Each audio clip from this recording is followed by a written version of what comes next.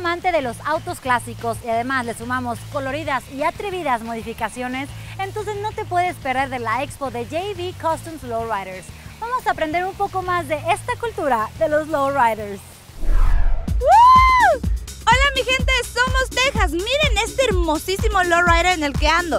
Si eres de los amantes de este tipo de autos, pues no te puedes perder la exposición de este fin de semana y yo te traigo todos los detalles.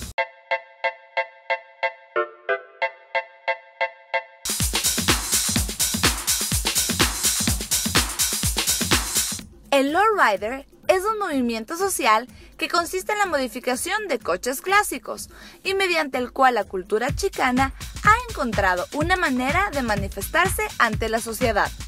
Su apogeo se produjo durante los años 1970, sobre todo de aquellos que llegaron a intentar conseguir el sueño americano, como una representación de lo logrado por el mexicano en tierras ajenas.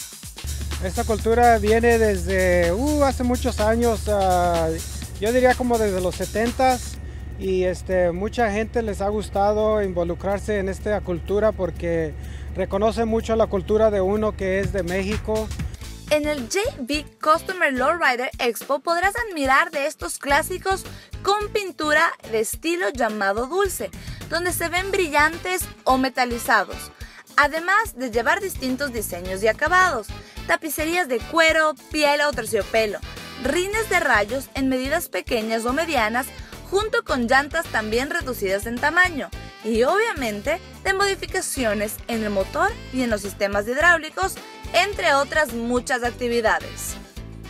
Mira, el evento es para toda la familia, es un evento para niños mayores de edad. Los niños son ah, gratis de 12 años para abajo y los de mayores de edad de 65 para arriba también son gratis el evento es para todos porque va a haber un zone para los niños, va a haber música para toda la gente, en inglés, en español. A ver, yo, ¿y este carrito de qué es?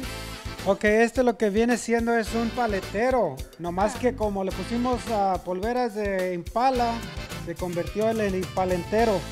Y es, es un carrito de paletas, ah, si quieres uh, suena las campanas para hacer servicio. A ver. ¿A vender? A vender paletas. Los coches clásicos más utilizados en este taller son los Chevrolet, como el Impala, Caprice y Monte Carlo. Y como vimos, lo clásico nunca pasa de moda, solo mejora con los años.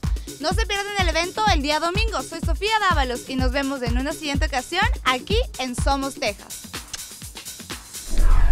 Amigos, mantengámonos en contacto durante toda la semana y síguenos en nuestras redes sociales de Facebook e Instagram y hasta con el hashtag de Somos Texas.